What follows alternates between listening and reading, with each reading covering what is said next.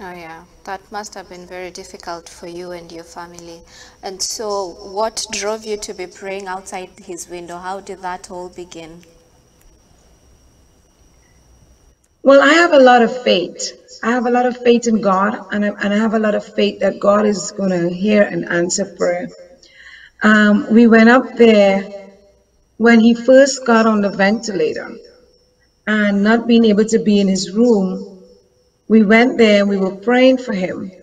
And then after that night, I made a promise to him because I felt close to him when I got there. And I promised him after that night, you know what, that I, that I was going to be there every night to pray for him and to be with him. Mm-hmm. And so that is what you have been doing all this time, just standing outside his window and praying for him. And that is very encouraging. Um, for how long have you been doing that? All the way since July? Yes. it's probably about three and a half weeks now. Mm-hmm.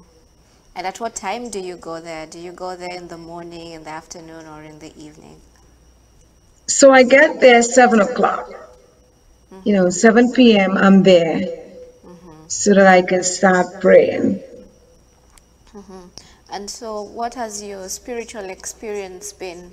How has this strengthened your walk with God? What have you been asking from God, and what do you expect from God through all this?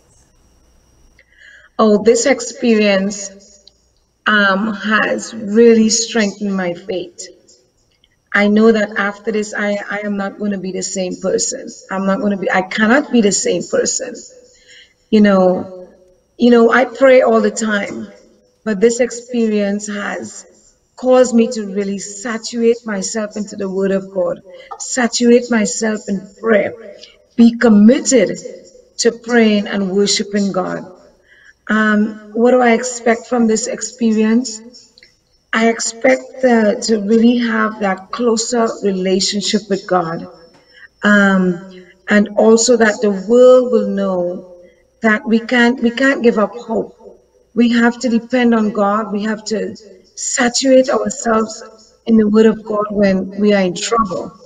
Uh, you know, because He said, "Call upon me, call upon me, and I will show you mighty things that thou knowest not."